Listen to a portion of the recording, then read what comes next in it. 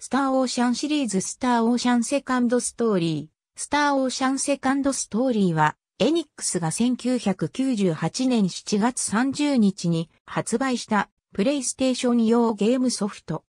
スターオーシャンシリーズのメインタイトル第2作目。略称は SO2。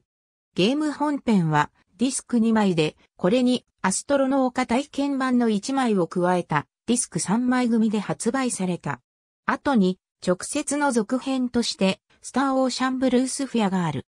キャラクターデザインは小糸口港で月刊少年ガンガンでは同名の漫画が東真由美によって連載され、2001年にはこの漫画作品を原作にテレビアニメ、スターオーシャン EX が制作された。2005年3月3日には廉価版 PS1 ブックスとしてスクウェアエニックスより発売された。PSP 版はスターオーシャン2セカンドエボリューションのタイトルで発売された。2009年12月3日には、アルティメットヒッツとして廉価版が発売された。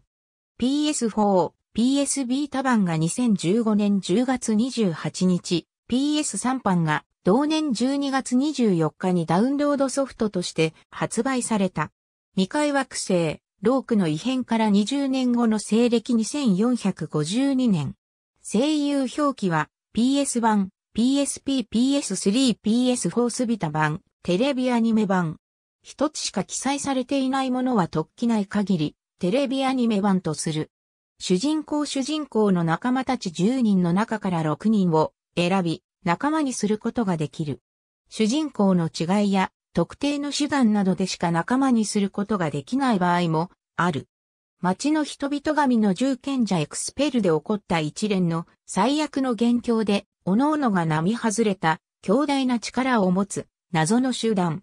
エルリアタワーの頂上にあるソーサリーグローブの傍らである計画の実行を目論んでいた。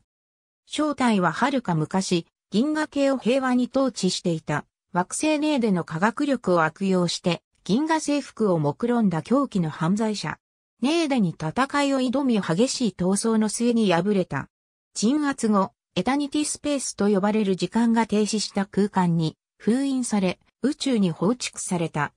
そして彼らのことを教訓として自分たちの科学力を抑制し、世界に悪影響を与えないためにエナジーネーデと呼ばれる人工惑星にネーデ人は移住することになった。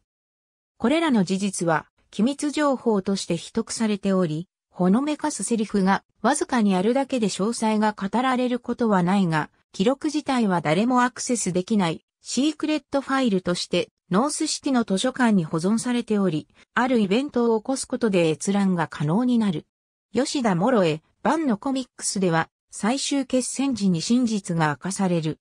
スターオーシャンにセカンドエボリューションは2008年4月2日に発売されたスターオーシャンセカンドストーリーのリメイク版。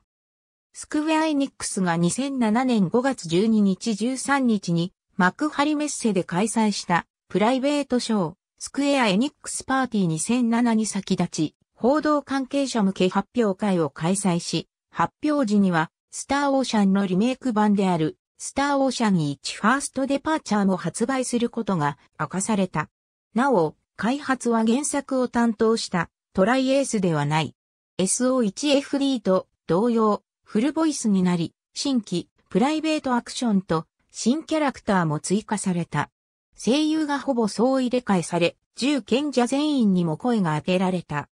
主題歌システムの変更点 PS4、PS ビータ版が2015年10月28日、PS3 版が同年12月24日にダウンロードソフトとして発売された上記の移植版。主題歌、スターオーシャン EX のタイトルで2001年4月から2001年9月まで放送されていた。終盤の展開などは本作との違いがある。スターオーシャンにセカンドエボリューションに関するカテゴリー。ありがとうございます。